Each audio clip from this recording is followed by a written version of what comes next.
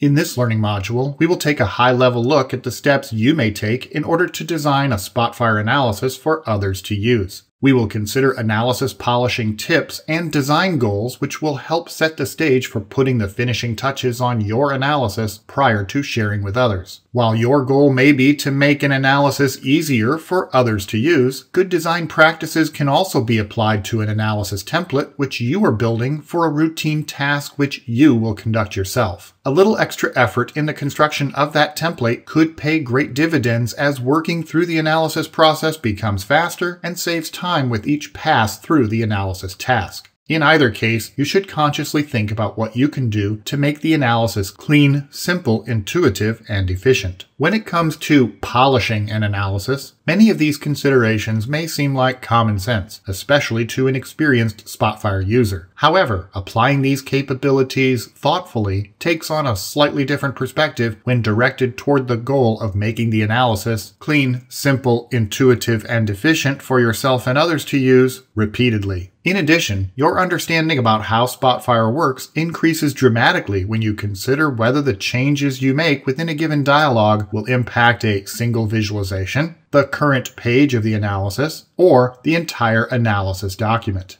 Another consideration is the environment in which your users will experience the analysis. Dashboard design requires a clear understanding of the specific needs of your user audience. And Spotfire analyses may also be integrated within other solutions at your disposal, including web portals. You should also be made aware that other tools available in the Tibco Analytics platform, like Spotfire Mobile Metrics, may be the best way to relate analyses to users on the go. However, that is really beyond the scope of this learning module. Instead, our focus here is to encourage you to take the time required in order to create an analysis environment for the user which is clean, simple, intuitive, and efficient. Let's take a look at a quick demonstration which is intended to drive home this point. Use Open File and navigate to the example with Design Practices Overview in the title. Click Open and agree to the terms and conditions of use. In this example, a simple analysis workflow has been configured in two different ways. Consider which one you would prefer to work with as you perform this analysis on a routine basis. Let's click this button in order to experience the first configuration option. This page has been configured to provide the user an opportunity to examine the underlying data table. Take note though that the legend and the details on demand panel are still taking up valuable space on the page. And some of the filter types are less informative than they could be. For example, we can see that there is an order ID column, however, we do not know how many orders exist within this data table. In addition, scrolling to the right in the table visualization quickly hides one of the key columns of interest, Sales Associate. If we proceed to the next page of this analysis workflow, unfortunately titled Page, you can see that a text area provides instructions regarding the general goal of the analysis. However, there is not much more information regarding how to achieve that goal. Regardless, we could scroll through the filters in order to find the region filter and isolate our region, assuming that we are a sales manager in the East region. Then, hopefully, the information in the legends will indicate that these are details visualizations, and we need to mark data of interest in this plot in order to populate the cross table, and mark values of interest in the cross table in order to populate the pie chart. Then mark the sector of interest in the pie chart just so that we can view detailed information for that sector in the Details on Demand panel. Finally, we could capture our results in the form of a bookmark titled My Best Sales Associate.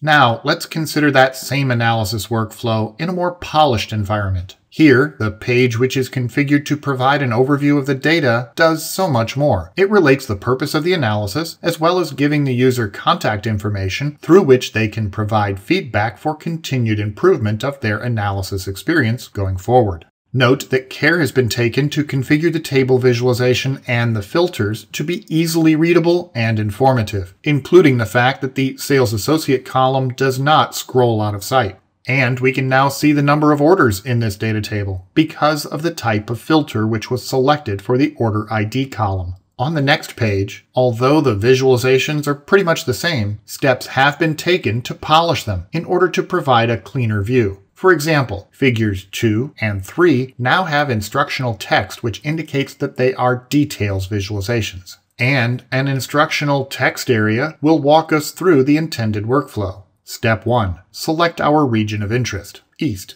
Step 2. Mark tall bars in the bar chart. Step 3. Mark hot values in the cross table.